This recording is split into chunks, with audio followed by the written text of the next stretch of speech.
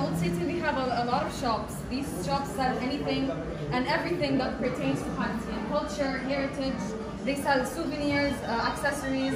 They even sell the traditional Palestinian dress called the thobe.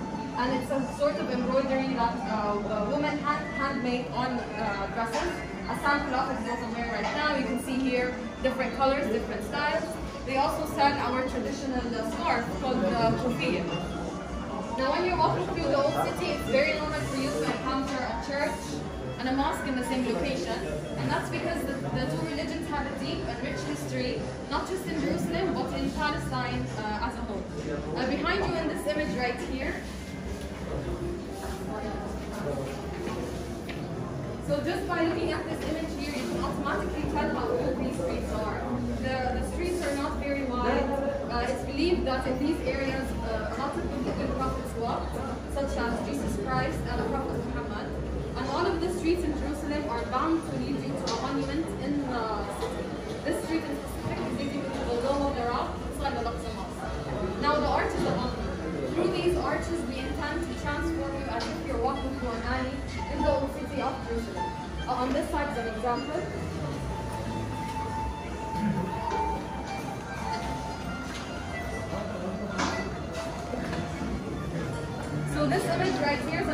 of one of the alleys in the old city of Jerusalem. So through the arches, through the Palestinian stone, uh, through even the music and the sounds that you're hearing, all of this is what you'll experience, hear, and see if you actually get the chance to walk uh, through one of these alleys. Uh, now behind you, we have a typical image of what Palestine looks like. This right here is the Dome of the Rock inside Al-Aqsa Mosque, located in Jerusalem. And this is, in Islam, it's believed that Prophet Muhammad ascended to the heavens from this location. Here you have the Church of Nativity in Beit Lahem, another Palestinian city. And this is the birthplace for Jesus Christ. Here you have the Church of Qiyamah in Jerusalem as well. And it's believed that Jesus Christ was crucified and buried in this location. Behind me you have the Burak wall that envelops the old city of Jerusalem. And of course on the sides you have the olive trees. Olive trees in Palestine are very significant and very important. They're a symbol of Palestinian resistance. And actually right now the season to harvest these olives.